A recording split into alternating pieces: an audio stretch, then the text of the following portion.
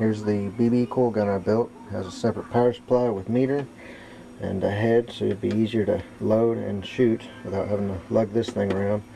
You got your uh, meter here, like I said, it's an analog 500 volt meter. Um, has very little charge on it now.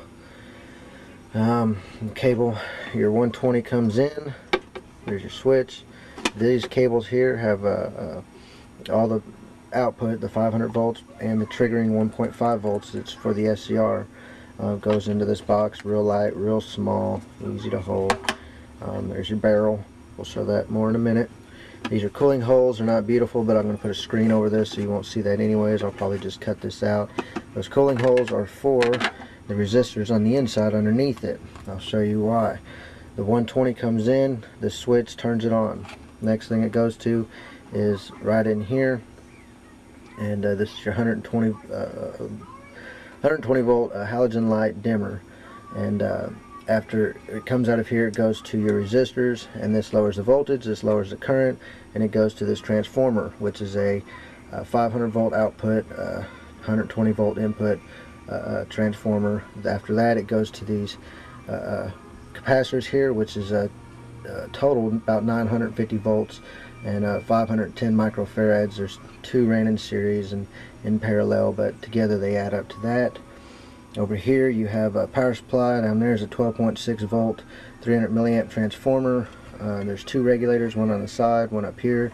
And one on the side is 1.5 volts. It goes to my SCR trigger. This one up here is, I don't, I don't know, I use that. I haven't even tested it. It's just for the LED. It's just enough to light up that little light. Um, there's my SCR itself. That is uh, your triggering that allows the uh, negative uh, to connect to my coil. The high voltage positive is already connected to the coil. The negative from here goes out and goes to the other side of the coil and when you hit this trigger the 1.5 volts is connected to the SCR and it turns it on and releases all the voltage that was charged in your capacitors into your coil which is over here. Um, we'll open it real quick. You have your diode. This is for reverse polarity protection. I used a big pin, just a big pin and I wrapped a coil around wrapped a pretty good coil around it. Um, then you have your switch right there so it's pretty simple. There's you know there's really nothing in here. You got four wires that come into it and uh, that's it. So it's, it's real easy to uh, hold. I also put let me show you real quick at the very back of this coil there's a magnet. At the very back of the coil there's a magnet back here and that actually holds the BB in whenever you load the BB so uh, what I'll do is I'll put it together real quick and then I'll uh, show you uh, we'll take a couple shots we'll charge it up and uh, that'll be it. Alright let's turn it on real quick. Watch it charge a little bit. There's 100 volts obviously 200 it's pretty quick. It's not too bad it'll slow down towards the top. Like I said uh, this control which I left deep down in there so I wouldn't accidentally knock it you can stick a screwdriver down in there and you can adjust it and bring it up higher lower but I like it where it is because as soon as it gets a little past 400 it's it's safe to go ahead and shoot. But if you leave it it'll get a little past the 500 and uh, it's fine. I said we'll grab a, a BB here and I'll show you. Here's the BB if we uh, put it in here and we let it roll back it stays in there. See? Stays in there. Now I have to tap it and it'll fall out. Try to roll off so I'll grab another one. well, actually, let's shoot it dry so you can listen to it. Let's see, we're uh, almost at 500. See if you can hear this. It's pretty loud, huh? That's not too bad. And it recharges quicker and quicker each time you fire it. It charges pretty slow the first time. We'll go ahead and load this BB, have it ready. And like I say, it's pretty neat. It, that magnet works pretty good. It makes it where you can do a little better aiming and not worry about it uh, falling out of there. Let's see. Yeah, we'll get up there. Come on, hurry up. Each mark there's 20 volts.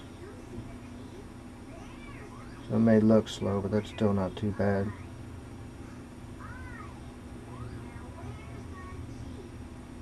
Alright. That's close enough to 500. I don't think you're going to notice the difference.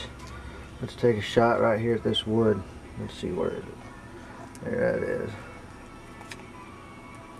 Ready? It's not too bad. That was pretty loud. It was a pretty good little hit.